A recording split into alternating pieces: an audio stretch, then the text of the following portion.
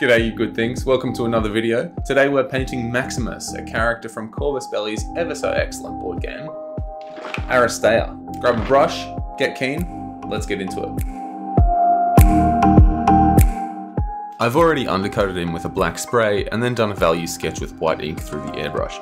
It's pretty self-explanatory, but if you're not sure what's going on, there's a bunch of great videos on Zenithal highlighting on the old YouTube.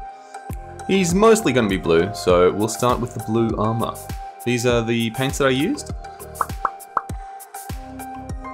Now I don't want to spend forever on him, so we're going straight to the airbrush. Starting with the dark blue, I spray him from underneath, basically to tint all the shadows blue and set our base colour. Moving on to our midtone, I raise the angle so I'm getting him from about 90 degrees, making sure to leave some of the dark blue in the shadows and obviously leaving space on my value sketch for the lighter blues coming up. With those lightest tones, I very gently dust in from above, being super careful not to overdo it here, because this will also desaturate it quite a bit.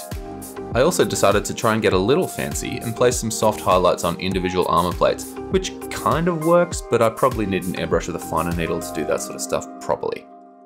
He's already looking pretty cool, and oh so very blue, but I have a really rich blue ink that just makes the blue more blue particularly in the shadows. So I get that out and reinforce my color a bit with it, just in the deepest sort of recesses that I can reach. This is about as far as I'll get with the airbrush, so I make the 1.5 meter arduous trek all the way over to the painting desk and get out the brush. First order of business here is to finish off all the blue armor. So using the light blue color, I thin it right down and start placing highlights to make the blue nice and bright and start look a little shiny. I also catch the upper edges with this color for some nice little edge highlights, but I'm concentrating them mostly towards the top and front of the mini. I do want him to look nice, but I'm really not worried about the bits I'm never going to see. For the final highlights on the blue armor, I mix my light blue tone with a little white, and then very sparingly go over just the sharpest and highest points with this. That's the armor done. Moving on to the undersuit and shield brace, I want it to be a dark sort of metallic tone, like chainmail or something. So the first step here is going over it all with Vallejo German Grey, mixed in with a little bit of blue that was on the palette already. After that, I just take a regular old neutral grey and start highlighting it. If it's a gaming model like this one is, you can kind of cheat it a little and instead of highlighting every single tiny link, save a bunch of time and treat them as strands or, or larger volumes, especially just for this midtone part.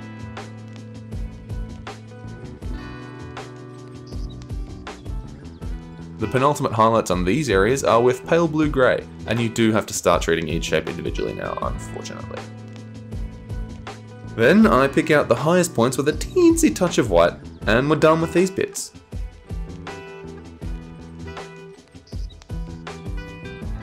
The big old Max writing on his shield is just the pale blue-grey, shaded with a little blue ink, and then edge highlighted with white. Simple, and it looks passable to me. For this handsome lad's face, my go-to skin tones are literally just the first ever skin tone paints I bought, many, many moons ago. Bugman's Glow, Cadian Flesh, and Kislev Flesh from the Citadel range. I base coat the face with Bugman's Glow and then highlight up with each successive colour. Not a huge amount to discuss here, except that painting faces on camera is a super difficult. Make sure you leave your darkest colour in the recesses of the model for that extra juicy contrast and expressiveness. Maximus's hair is a desaturated brown, which I really like for hair. I highlight this up just by adding a teensy touch of Vallejo Ice Yellow and then some off-white to that as well. When I'm done with the hair here, I decided that it's a little too desaturated, so I put a little vibrancy in via some brown ink.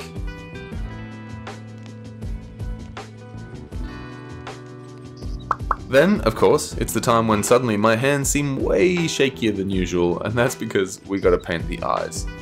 For a quick and simple way to do eyes, I start with a slightly off-white and then a tiny dot of black for the irises slash pupils, and then go back in with a flesh tone to properly shape the eyes so your mini doesn't look like a raving lunatic. After the face is done, we're pretty close. It's just some freehand details and glowy bits left to go. The stripes on his armor being orange presents a little problem because if we just tried to put acrylic orange straight over blue, we'd need about 7 million coats of paint and even then it wouldn't look right. Sneaky trick for doing orange or yellow or something over a darker color? Paint it white first. Or in this case, an almost white blue-grey.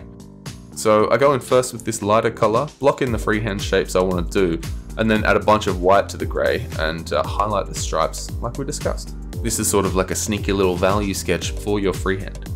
After that, time for the orange.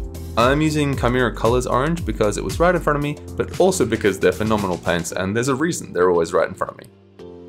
And see, I wasn't lying, the orange goes on super easy and is vibrant as right from the get-go.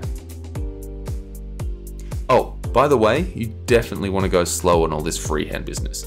It ain't a race, and there's no prizes for finishing first, except maybe some errant brush strokes ruining all your good work. I highlight the orange with Fire Dragon Bright from Citadel, just on the upwards facing surfaces here and there, and do a little final edge highlight of the same colour, mixed with Vallejo Ice Yellow.